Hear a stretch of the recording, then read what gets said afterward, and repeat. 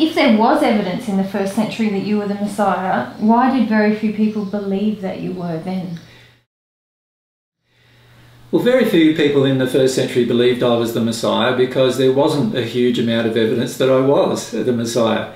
When I say a huge amount of evidence, what I mean by that is that I wasn't doing miracu miraculous things on an hour by hour, moment by moment basis. And also, on top of that, many people in the first century had huge difficulties with recognizing love and truth. And as a result of those two particular things, they could not tell whether a person was one with God or not.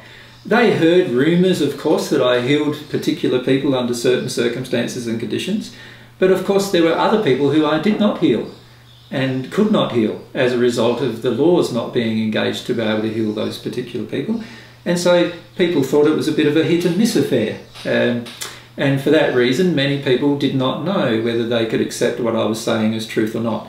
In fact, many of my own disciples in the first century, many of the people I was teaching in the first century, in, in seminars similar to what I'm teaching today, many of those people did not really accept that I was the Messiah until after I died and I reappeared to them in spirit form and in a materialized body.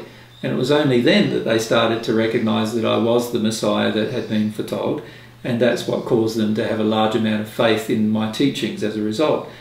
But until that point in time, many of them had huge amounts of doubts. This is why very few of them were present at my death. My own father doubted my, uh, my messiahship until after my death. My mother followed me around in the first century accusing me of being crazy until the last year of my public ministry. And so many of the people, even who knew me face to face, did not know whether I was crazy or not in the first century. And many of those people did not accept I was the Messiah until after I had passed. So there was not as much evidence as what Christians today seem to believe there was in order to accept myself as the Messiah, aside from the fact that I had a huge amount of love for individuals and people collectively, and also could tell them a huge amount of truth that they'd never heard before. And this is exactly the same as today.